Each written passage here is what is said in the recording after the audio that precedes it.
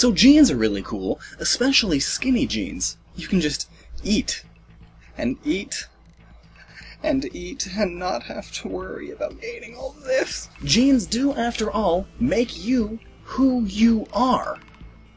Physically speaking, anyway. But that's it, right?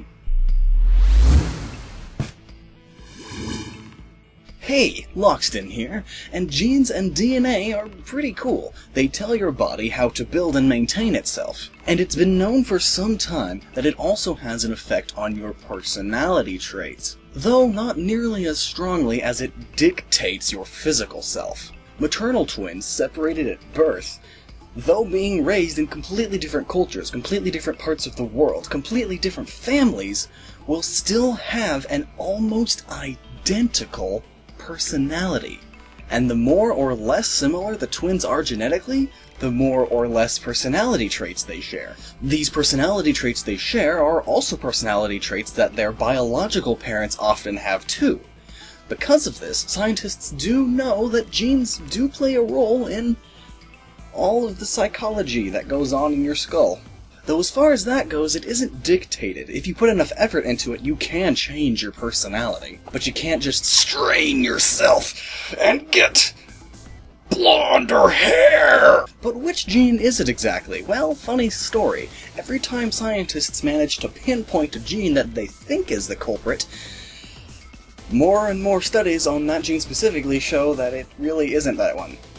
At all. So to this day, scientists do not know which genes specifically manage your psychology. But they do know that your genes have an effect. But personality is one thing, yeah?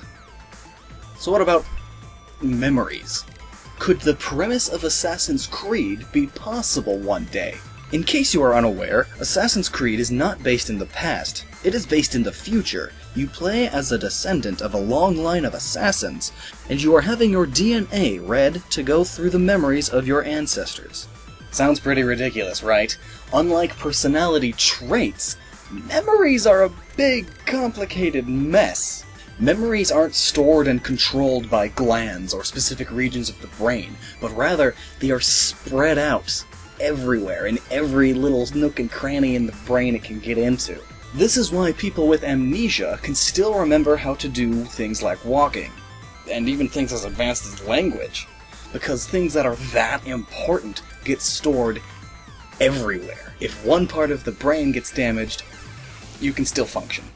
But that's all in the brain. It's not created or even recommended to be created by DNA whatsoever. These are experiences and things you learn throughout life being stored like a hard drive. The blueprints of a hard drive don't tell it to have Skyrim and a butt ton of mods on it. So obviously this entire premise of Assassin's Creed just isn't possible. You can't pass down memories to your children.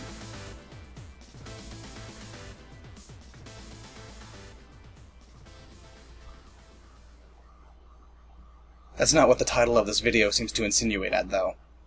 Oh yeah, that's because it is possible. The Emory University of Medicine explored this topic for quite some time, and they discovered that, yes, at least in mice, memories do get passed down a few generations.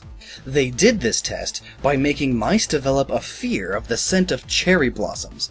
Every time that scent was introduced to them, they would soon be electrically shocked. Terrible! So terrible! It's hilarious. After a while, the mice would develop a phobia of this scent. Every time the scent was introduced, they would start panicking. True fear. Fears and phobias are some of our most deeply ingrained memories. If in your youth you saw a rabid dog attack your family, possibly killing a family member, you would develop a phobia of dogs, which is good because what if another dog wanted to do the same to you? Your brain is telling you dogs are dangerous, avoid them.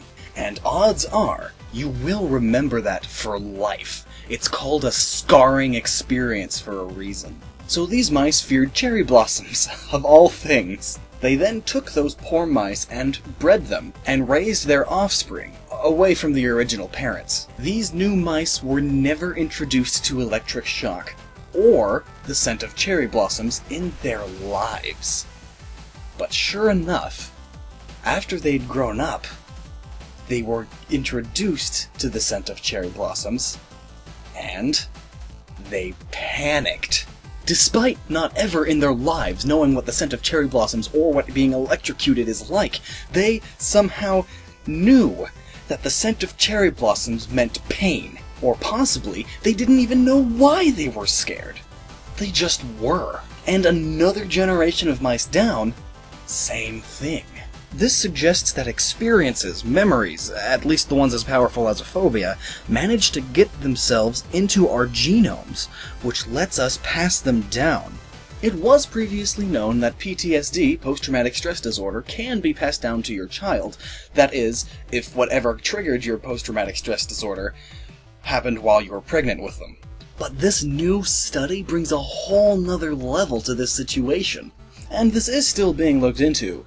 Though, the detailed memories, such as the people and architecture of your surroundings during just another typical assassination mission, are most likely not going to be passed down a hundred generations. Though perhaps someday, we will have technology similar to this, and be able to figure out what deeply ingrained memories our ancestors have left behind for us. Science is some pretty cool stuff.